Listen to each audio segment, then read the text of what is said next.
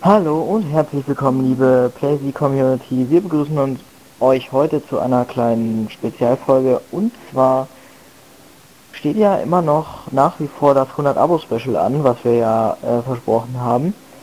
Und äh, da wir oft gefragt wurden von äh, euch, ob wir mal mit euch Minecraft zocken oder so, haben wir uns jetzt mal ausgedacht, da also da unsere ganzen Ideen, die wir für, wir fürs 100 Abo Special hatten, dass die sich alles entweder nicht umsetzen, war zu schwer, hätte zu lange gedauert. Äh, dann haben wir uns jetzt gedacht, Verbindung damit und dass ihr gerne mit euch, dass ihr gerne mit uns zocken wollt, haben wir uns jetzt überlegt, hier so eine äh, Map zu erstellen, zu der wir euch einladen. Es können leider nur immer drei Leute rauf. Also drei weitere. Äh, ja, drei weitere Leute, weil sonst der Server abspastet. Und äh, das wollen wir natürlich nicht. Äh, ihr könnt euch dann, ja Julian, erklär noch mal den Leuten, wie sie sich anmelden können. Also immer, wenn ihr seht, dass wir Minecraft zocken, ähm, könnt ihr uns ja einfach anschreiben, dass äh, ihr vielleicht Interesse habt, auf dem Server zu joinen. Dann schauen wir, wie viele Leute denn hier schon drauf sind. Und äh, sind die maximal drei Zuschauer schon drauf, schicken wir euch eine Nachricht, äh, in der drin steht Warteschlange. Und die werden dann chronologisch abgearbeitet. Verlässt einer den Spieler, werdet ihr sofort äh, eingeladen. Also braucht ihr uns nicht hier voll zu spammen mit ich will rauf, ich will rauf. Einmal reicht. Wir äh, werden das dann sehen. Und der, der sich dann als erstes gemeldet hat, hat auch als erstes die Chance, dann aus der Warteschlange hier reinzukommen. Ja, ja genau. Tim, zurück zu dir. Ja, also hinter uns seht ihr unsere Botschaft für den Ort hier. Steht ja auch hier auf dem Schild. Hier. Das ist die Botschaft. Ihr könnt, äh, also das Ganze hier ist, äh, wir machen mal eine kleine Führung am besten.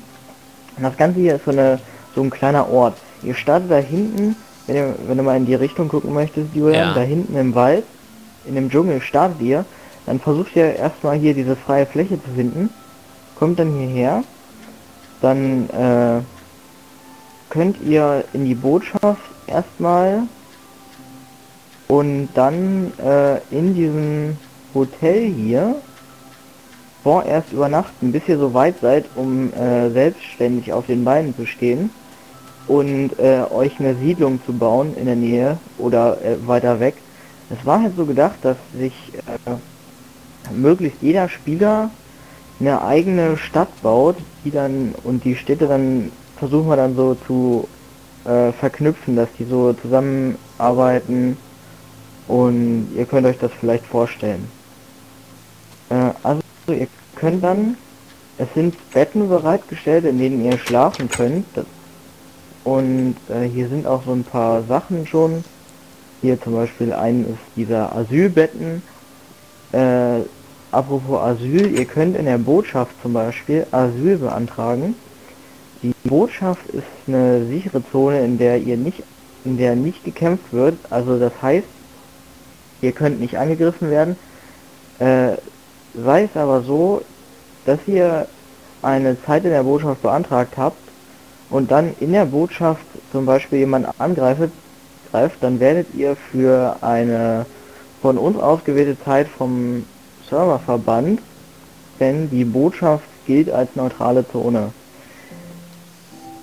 Und ja, ihr könnt, äh, wenn ihr beantragt habt, dass ihr in der Botschaft sein dürft und äh, das akzeptiert wurde, was wahrscheinlich der Fall sein wird, könnt ihr euch zwei gesamte äh, Minecraft Ingame-Tage dort aufhalten, schlafen, euch was zum Überleben suchen und dann aber müsst ihr wieder in eure Stadt zurückkehren. Äh, jedenfalls, wenn ihr eine habt, ihr solltet versuchen, möglichst schnell das zu erreichen, dass ihr euch eure eigene Existenz aufbaut und nicht hier die ganze Zeit bei uns am Harten seid. Also wir geben euch zu Anfang ein paar Hilfsgüter, ihr also Sachen, ein paar Werkzeuge und so, und dann solltet ihr ihr aber auch möglichst schnell losziehen mit dem, was wir euch geben. Ihr könnt später, aber auch, falls ihr irgendwie Notstand habt, könnt ihr äh, über die Botschaft auch, ihr könnt mit der Botschaft Kontakt aufnehmen, das sind dann wir beide, und könnt äh, einen Handelsvertrag abschließen, äh, der euch dann erlaubt, äh, zu handeln mit Gegenständen, falls euch mal irgendwie, äh, sagen wir mal, euch fehlt äh, Nahrung und ihr könnt keine Tiere züchten oder so, dann könnt ihr hier gegen irgendwas, was wir brauchen, äh, Tiere oder Nahrung eintauschen. So ist das dann mit den Handelsverträgen. Ihr könnt aber auch Bündnisse abschließen mit anderen Städten und euch dann so gegenseitig aufbauen und mit denen zusammenarbeiten. Und das war es soweit von mir. Julian, hast du noch was hinzuzufügen? Ähm, zu diesem Hotel. Hier könnt ihr ähm, eine Zeit lang bleiben, aber es ist vielleicht ratsam, jetzt hier ähm, nicht für immer zu leben, sage ich mal, sondern, äh, wie Timme schon so schön ansprach, eine Siedlung gründen. Unsere Idee war es, hier einen riesen äh, Wirtschaftsraum oder eine riesen, ähm, einen riesen Staat zu gründen mit einzelnen Städten. Und äh, es wäre vielleicht vorteilhaft, wenn ihr doch ein bisschen weiter fern reist, dass ihr nicht gleich mhm. hier an dieses Dorf äh, anbaut.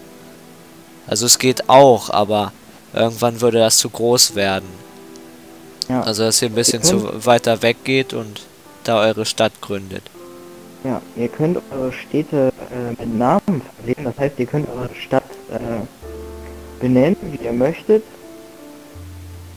Aber zudem ist hinzuzufügen, ähm, nichts sexistisches, rassistisches äh, oder sowas in der Art. Also das äh, wird ja. hier auch nicht so gehandhabt oder gut geschrieben.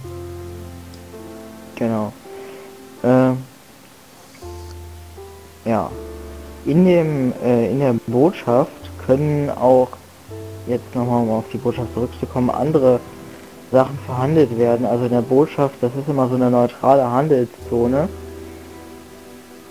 Äh, und ihr könnt eure Städte halt Namen geben, geben und ihr könnt euch für eure Stadt auch, auch äh, äh, eine Flaggenfarbe vielleicht aussuchen, hatten wir gedacht, dass so ihr verschiedene Farben habt. Unsere Farben wären jetzt zum Beispiel äh, eine Flagge, die würde aussehen, das wäre so ein Ka Ka Karo und dann wären äh, vier Wollenblöcke, zwei grüne, zwei schwarze und immer so überkreuzt dann halt äh, schwarz und grün bei uns. Bei euch wäre es vielleicht äh, rot und weiß oder sowas. Und äh, ja, dann könnt ihr eure Stadt benennen und euch eine Flaggenfarbe aussuchen. Es sei denn, die Farbe ist schon vergeben. Dann müsst ihr euch leider was anderes ausdenken. Und ja, also ja, das. Wir können ja mal zum Bett gehen und äh, dann vielleicht einen Teil des Dorfes nochmal zeigen ja. und darauf eingehen, damit ihr hier euch erstmal für eine kurze Zeit erstmal hier ein bisschen zurechtfindet. Ja, bei mir sind aber angeblich irgendwie Monster in der Nähe. Nee, ich konnte schlafen. Und warum sind bei mir Monster in der Nähe? Das ist ja blöd. Wollen wir eine Botschaft pennen oder was? Ja, können wir versuchen. In der Botschaft stehen auch Betten bereit, dann können wir das euch direkt mal zeigen. Das da ist Skelett. Ist Skelett.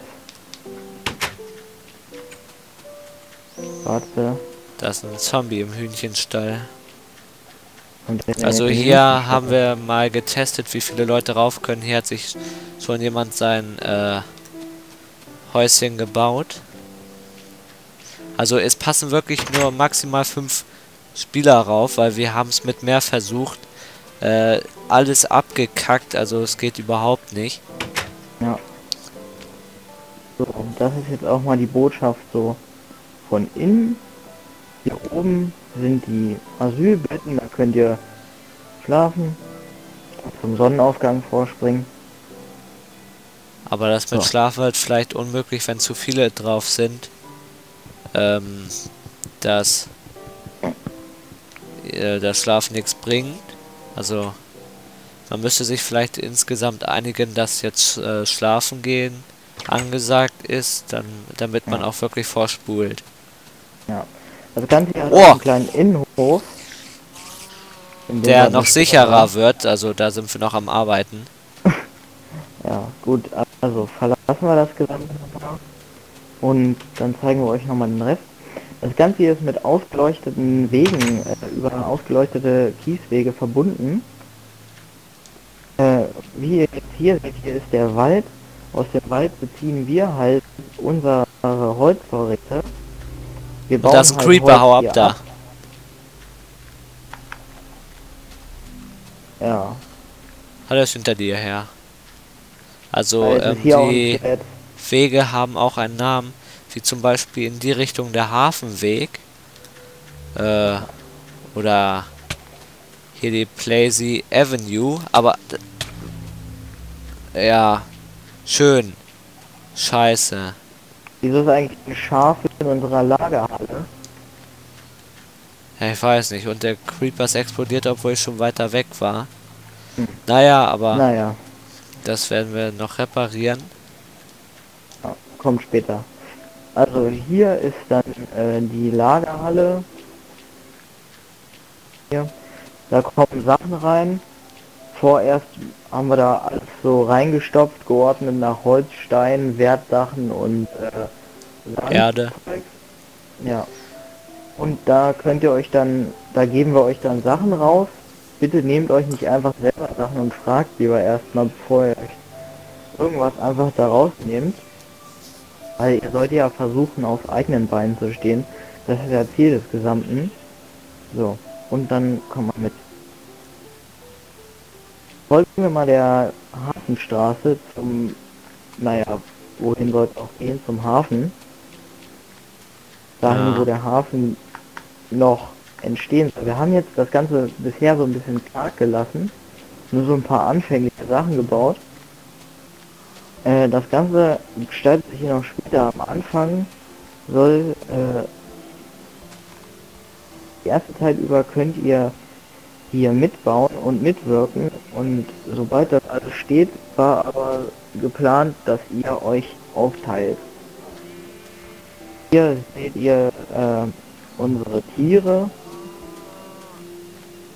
Die äh, züchten wir.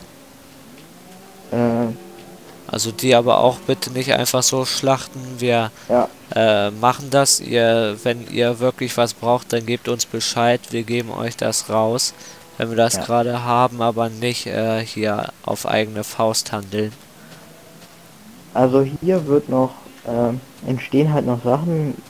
Hier ist noch nichts, hatte ich noch nichts genaues geplant, aber da vorne, in, auch wenn ihr in Richtung dieser kleinen Landzunge schaut, auf der Spitze dieser Landzunge soll noch ein Leuchtturm entstehen, auf dem sich ein Leuchtfeuer befinden wird, das euch den Weg weist. Wenn ihr denn So. so weit sehen könnt. Wie bereits erwähnt ist hier der Wald. Und ähm, wenn ihr hier weiterschaut, kommt ihr mit diesem Weg hier zu unserer Burg. Die gehört uns. Die muss noch fertiggestellt werden. Ich habe hier nur mal schon mal ein bisschen was aufgebaut, um mal so ein bisschen zu zeigen, äh, den Stil der Burg, wie das wird. Hier soll dann halt, äh, wie gesagt, die Burg entstehen. Und es war halt auch geplant, dass jeder sich so seine eigene kleine Burg baut, so ein bisschen mittelalterlich und dann seine, seine Häuschen drum. Eure Orte werden vielleicht kleiner sein als unsere, aber Unserer ist halt auch der Hauptort, wo ähm, zu Anfang der ganze Ansturm entsteht. Also, deswegen ist unser Ort auch größer. Oder wird wahrscheinlich größer sein. Ihr könnt euch natürlich äh, aufbauen mit den Handel durch Handelsbeziehungen könnt ihr euch aufbauen und äh, echt dann noch zu was werden und könnt dann hier eine Großmacht werden.